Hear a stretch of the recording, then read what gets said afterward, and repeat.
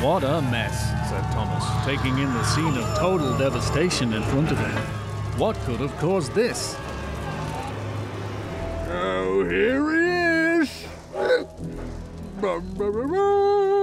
said a very inebriated Gordon. Don't you f***ing talk for me. Oh, don't tell me you fell off the wagon again. It's my birthday, and someone, not you, left a lovely tank of ethanol right in my tunnel.